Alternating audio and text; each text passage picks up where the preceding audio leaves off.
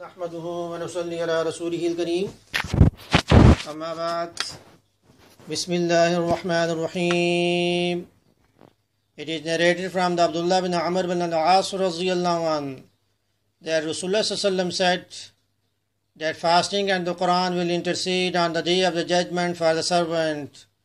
Fasting will say, I prevented him from the food and desires in the daytime, so let me intercede for him. And the Quran will say, I prevented him from sleeping in the night time, so let me intercede for him. So both will intercede for the servant. Is narrated in the Musnad Ahmad Hadith number 6337.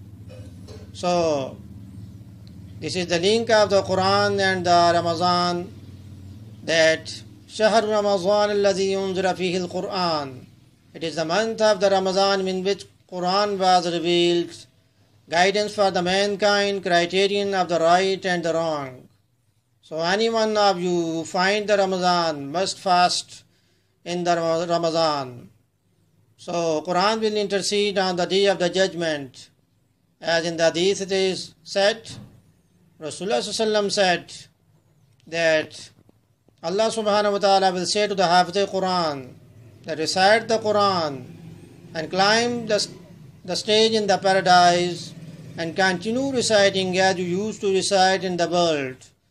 Your place will be in the paradise according to your last word you recite.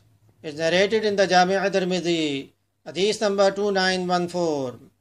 So, this is the month of the Ramadan. So we should recite more and more Quran. So may Allah help us to understand the Quran and the Sunnah. So after viewing this video, share it so it would, would become Sadqa Jariya for you. وما علينا إلا البلاغ المبين